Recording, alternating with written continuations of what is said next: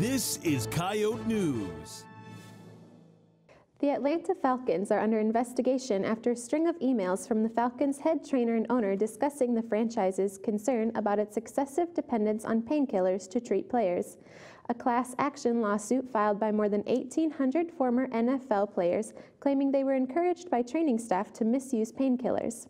An outside agency found that the team spent $81,000 on prescription painkillers in 2009. The case is being heard in a Northern California U.S. District Court. It's National Signing Day for NCAA football. The Coyotes have already signed 30 players to this year's class.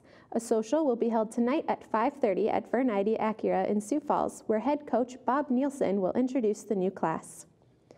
USD freshman pole vaulter Chris Nelson and senior thrower Danielle Waldner have been named the Summit League Indoor Track and Field Athletes of the Week. This is Nelson's third consecutive weekly honor. Nelson leads the Summit League by eight inches in the pole vault. This is Waldner's first Career Athlete of the Week award. Waldner won the shot put at the Jack Johnson Classic in Minneapolis. And those are your headlines.